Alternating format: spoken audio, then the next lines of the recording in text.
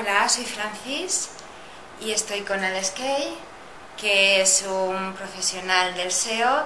Yo diría que es una figura pública muy, muy conocida, no solo en España, en Latinoamérica.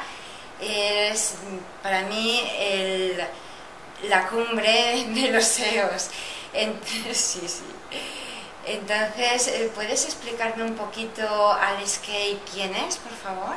Bueno, soy original de Tenerife, pero vivo en Barcelona, viví los últimos 10 años en Lisboa, Portugal, soy el presidente de K-Web Enterprises, una empresa norteamericana, y hacemos marketing online, y sí soy conocido por el área del SEO, pero no diría que soy el mejor SEO que exista sobre, la, sobre, la, tierra. ¿no? Yo sí que lo creo, yo sí que lo creo, es que es muy modesto. A ver, yo tenía unas preguntitas. Eh, ¿Cómo te definirías? ¿Como un empresario, como un emprendedor o como un empresario que emprende? Como un empresario que tiene mucho poder de emprendimiento. Ah. Eso es lo que, lo que me consideraría que soy. O sea, que consideras que los empresarios pueden ser emprendedores. Claro, un empresario, digo empresario, una persona que tiene una empresa.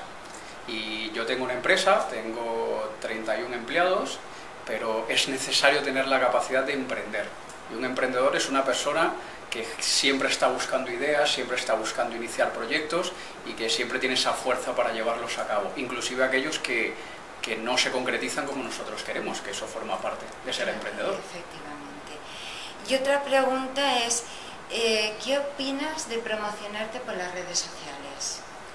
Hoy en día más que, que una opción es una necesidad hacerlo y hay que saber hacerlo, porque promocionarse en las redes sociales no es agregar a todos los amigos que puedas ni dejarles mensajes en sus muros. Tenemos que crear una marca y, tenemos que diferenciar si queremos promocionarnos a nosotros como personas o a nuestra empresa o ambas. En caso de que decidamos hacerlo nosotros como personas, tenemos que recordar que somos seres humanos y no solamente podemos estar hablando de negocios, de negocios, de temas comerciales. También tenemos una parte humana que las personas quieren ver las personas quieren conocer. Y si aparte queremos eh, eh, promocionar la marca, pues hacerlo eh, de una manera corporativa, pero siempre dejándole ver a las personas que hay seres humanos detrás. Hoy en día las personas quieren conocer personas, no conocer empresas.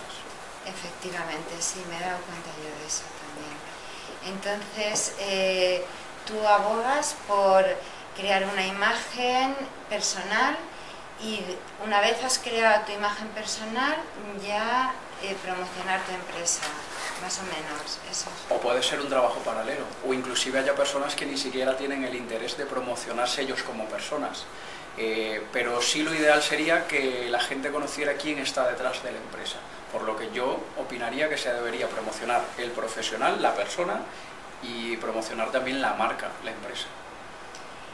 Y yo te quería hacer otra pregunta porque a mí me gusta mucho el video marketing y yo no sé si has entrado en mi blog, pero yo todo lo que hago son videoartículos.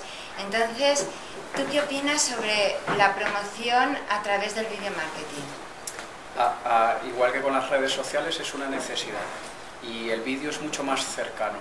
El vídeo transmite un mensaje de otra manera y podemos inclusive impactar emocionalmente de una manera mucho más óptima, de una manera mucho más efectiva que simplemente a través de texto. Así que sí es muy buena idea utilizar el video marketing. Efectivamente.